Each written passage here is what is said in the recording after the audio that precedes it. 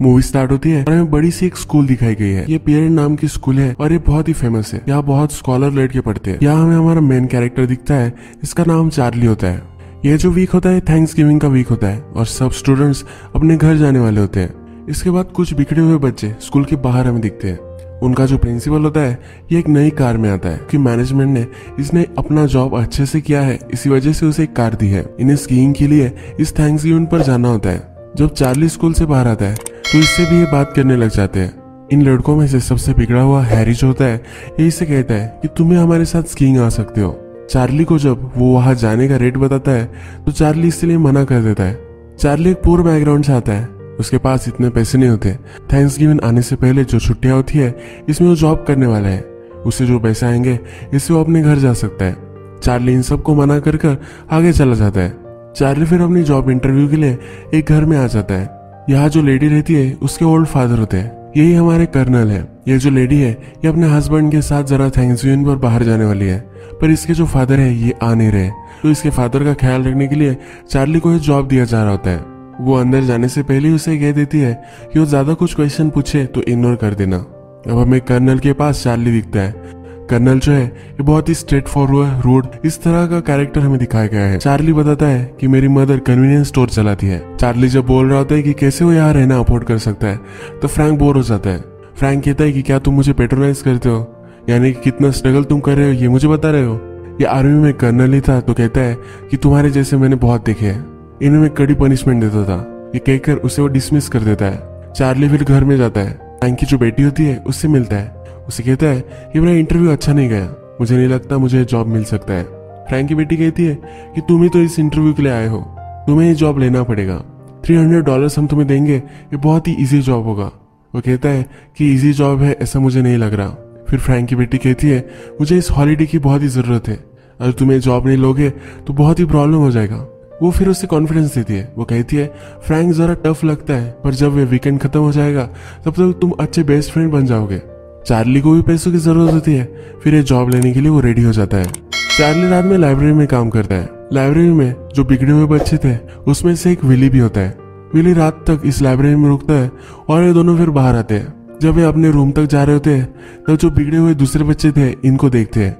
जो lamp post होता है, इस और बड़ा सा बलून वो लगा रहे होते हैं। तभी उनके एक प्रोफेसर वहाँ आती है। ये इन सबको देख लेती है। विली इसको कवर करने की कोशिश करता है, पर एक कर नहीं पाता।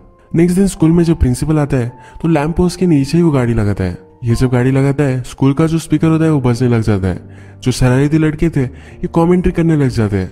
वो कहते हैं कि प्रिंसिपल ने मैनेजमेंट की चाटी है, इसी वजह से इसको एक कार मिली है। ये जब वो कह रहे होते तो बलून फुला लेते हैं। इस बलून में प्रिंसिपल का गंदा कार्टून भी होता है।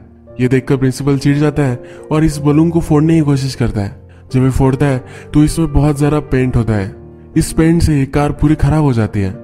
इसके बाद हमें डायरेक्टली प्रिंसिपल के ऑफ़िस में विली और चार्ली ये दोनों दिखाए गए हैं। टीचर ने इन दोनों को देख लिया था, पर जो लड़के थे, इन्हें वो देख नहीं पाई थी। अब प्रिंसिपल इन दोनों से पूछता है कि कल रात क्या हुआ था? मुझे सब कुछ बताओ। ये दोनों कहते हैं कि हम सही से देख नहीं पाए। फिर विली को प्रिंसिपल अपने ऑफ़िस से निकाल देता है। इसके बाद वो चार्ली से बात करने लग जाता है। वो कहता है कि मुझे पता है कि तुम बहुत ही अच्छे लड़के हो। प्रिंसिपल फिर चार्ली को एक ऑफ़र देता है। वो कहता है, हार्वर्ड में मैं एक लड़के को एडमिशन दिला सकता हूँ। मैं हर साल एक लड़के को रिकमेंड करता हूँ और जिसकी फाइनेंशियल सिचुएशन बहुत ही खराब होती है, इसी को मैं रिकमेंड करता हूँ। इस साल वो चार्ली को रिकमेंड कर सकता है, पर इसके पहले जिस लड़कों ने ये सब किया है, इनके नाम उसे देने पड़ेंगे। चार्ली अपने फ्रेंड्स का नाम नहीं बता सकता, क्योंकि उसे गलत लगता है, इसलिए वो मना कर देता है। ये चार्ली को बोलता है कि मैं तुम्हें जरा टाइम देता हूँ। वीकेंड पर सोचो और इसके बाद मुझे फिर से कहो। नेक्स्ट दिन चार्ली फ्रैंक के पास आता है। फ्रैंक की जो डॉटर है, अब वो यहाँ से जा रही है। फ्रैंक चार्ली को उसके कपड़े फोल्ड करने के लिए कहता है। चार्ली उससे पूछता है, क्या हम कहा जा रहे हैं? वो कहता है कि, तुम तुम्हारा काम करो। ज़्यादा कुछ सवाल मत पूछो। जैसे फ्रैंक की बेटी वहाँ से चली जाती है तो फ्रैंक रेडी हो जाता है। बाहर फिर एक टैक्सी आती है। वो कहता है कि, चलो, अब हमें चलना है। चार्ली कहता है कि, मुझे पता नहीं था कि हमें कहा जाना है। फ्रैंक कहता है कि, मेरी डॉटर तुम्हें कहना भूल गई है। चार्ली जब उसे पूछता है कि कहा जाना है तो वो कहता है कि हमें न्यूयॉर्क जाना है। चार्ली उसे कहता है कि मैं न्यूयॉर्क नहीं जा सकता। ये इसके लिए जरा ज़्यादा रिस्पॉन्सिबिलिटी हो जाएगी। इसके पीछे एक रीजन है। फ्रैंक को ज़्यादा दिख नहीं पाता, ये प्रैक्टिकली अंधा ही होता है। एक अंधे आदमी को न्यूयॉर्क ले जाना, ये बहुत ही गलत हो जाता है। इसलिए ये मना कर रहा होता है। फ्रैंक कहता है कि क्या तुम रिस्पॉन्सिबिलिटी से डर रहे हो? वो फिर उसे फोर्स करता है और लेकर ही जाता है। फ्रैंक ने फ़र्स्ट क्लास टिकट बुक की होती है। वो फिर प्लेन में अल्कोहल मंगवाता है। जब उसे सर्व करने के लिए एरोस्टेस आती है तो उस इस खुशबू से उसने जो सेंट पहना है, ये वो जान लेता है। इसका नाम क्या होगा ये भी वो गेस करता है और उसे नाम से पुकारता है। न्यूयॉर्क में आने के बाद एक फाइव स्टार होटल में आते हैं। यहाँ बहुत सारी अल्कोहल होती है। फ्रैंक को ये सुनकर अच्छा लगता है और कौन कौन से ब्रांड है, ये वो चार्ली से पूछता है। चार्ली फिर एक कॉल लगाता है। वो अपने लिए एक लिमो बुक करता है। एक बड़े से होटल में जाकर वो डिनर करने वाले होते हैं। चार्ली फ्रैंक से कहता है ये सब तुम क्या कर रहे हो? मैं तुम्हारे साथ डिनर नहीं कर सकता। मुझे फिर से घर जाना पड़ेगा। फ्रैंक कहता है कि तुम मेरे साथ आए हो। मैं तुम्हें बिना खाए पिए नहीं छोड़ सकता। तुम्हारी जो फ़्लाइट है, ये दस बजे है। तब तक तुम क्या करोगे? हम जाकर खाना खाकर आ सकते हैं। चार्ली भी अब इसके लिए मान जाता है, जब वे लिमो में होते हैं। फ्रैंक को लगता है कि चार्ली जरा अनकंफर्टेबल है। उससे बोलता है कि कुछ ना कुछ तो तुम सोच रहे हो। मुझे बता दो कि क्या तुम सोच रहे हो। फिर चार्ली उसके स्कूल में जो भी इंसिडेंट हुआ है, ये सब उसे बताता है। फ्रैंक उसे पूछता है कि जो विली है इसके फादर रिच होंगे। फ्रैंक उसे कहता है कि वो रिच है और तुम पुअर हो। इसमें ज़्यादा सोचने की कोई भी ज़रूरत नहीं है। जब ये होटल में आते हैं, तब चार्ली उससे पूछता है कि इतना ज़्यादा बड़ा होटल तुम कैसे अफोर्ड कर सकते हो? फ्रैंक कहता है, मेरी जो पेंशन वगैरह थी, ये सब मैंने सेव कर कर रखी है। चार्ली फिर उससे पूछता है कि तुम्हारा प्लान क्या है? तुम क्या करने वाले हो? फ्रैंक कहता है कि मेरी कुछ लिस्ट है, जो मैं कंप्लीट करना चाहता हूँ। एक अच्छा सा डिनर में करना चाहता हूँ। इसीलिए ये होटल में आए हैं। इसके ब्रदर के साथ फैमिली थैंक्स गिविंग वो करना चाहता है। और ये सब हो जाने के बाद वो अपने आप को मार देने वाला है।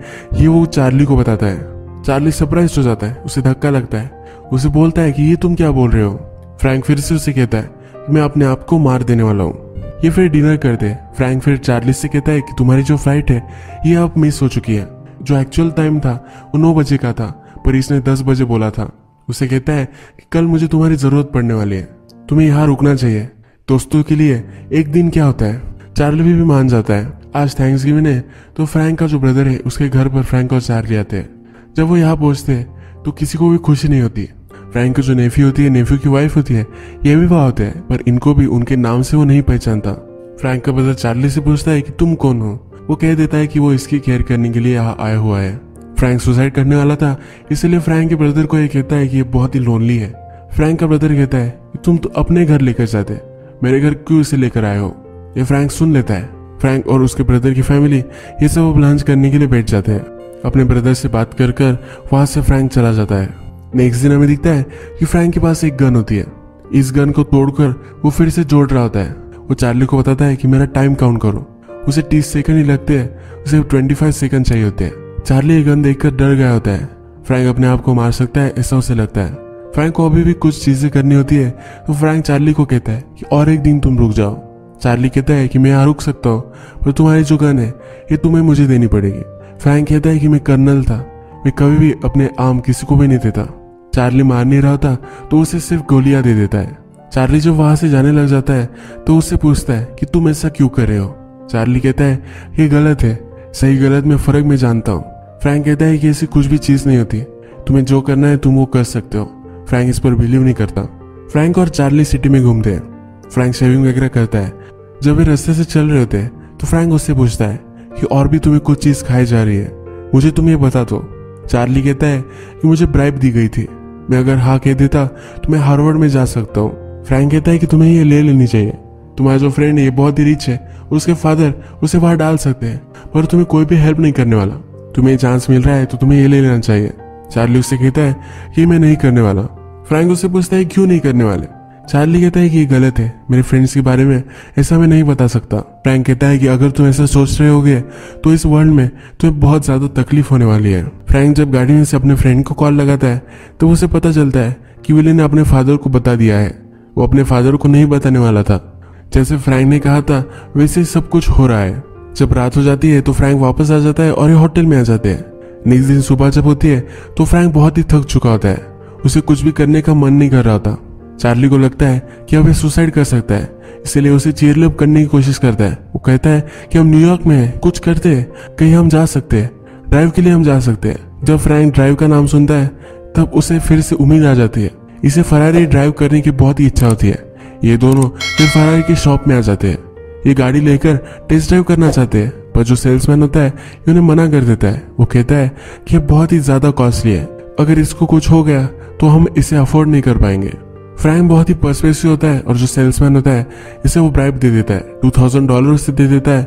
उसके बाद ये ड्राइव करने के लिए गाड़ी को बाहर लेकर जाते हैं। चार्ली गाड़ी बहुत ही स्लोली स्लोली चला रहा होता है।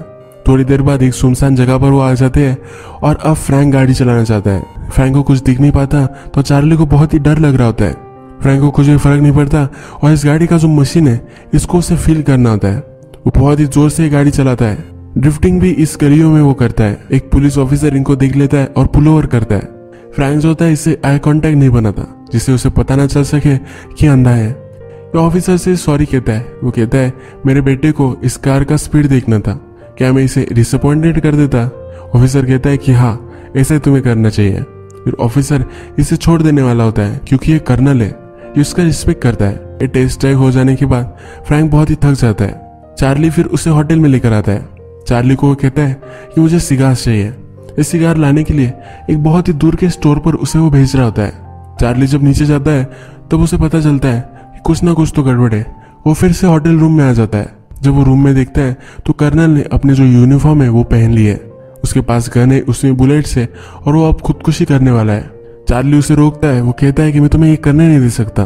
कर्नल कहता है कि मैं करने वाला हूँ, तुम मुझे रोक नहीं सकते। अगर तुम यहाँ रुके तो तुम्हें भी मार दूँगा और अपने आप को भी मार दूँगा।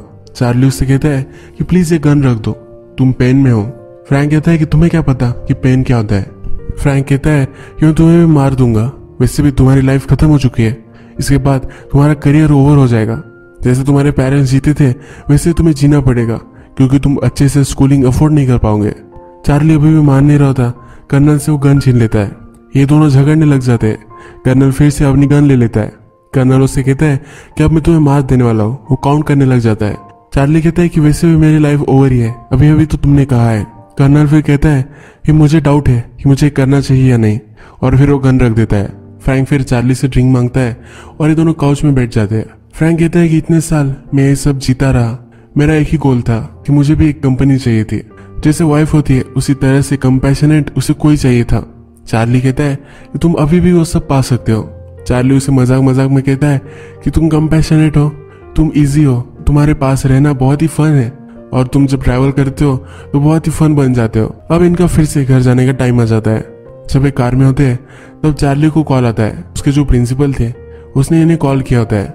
जब ये घर जाएगा तो एक बड़ी सी मीटिंग होने वाली होती है। इसमें ये जो सब इंसिडेंट हुआ है, इसके बारे में हियरिंग होने वाली होती है।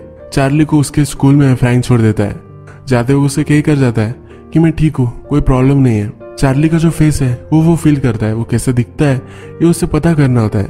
जो हियरिंग थी, वो अब स्टार्ट हो जाती है। चार्ली यहाँ बैठा हुआ होता है। विली जो था, उसके पेरेंट्स भी यहाँ आए हुए हैं। प्रिंसिपल है, फिर रूम एड्रेस करने लग जाता है। ये फिर विली को प्रेशराइज करता है और कहता है कि जो भी सब हुआ था, मुझे क्लियर कट बताओ। विली कहता है कि मेरे कॉन्टेक्ट लेंसेज जो थे, वो ऑन नहीं थे। मैं कुछ भी बता नहीं सकता।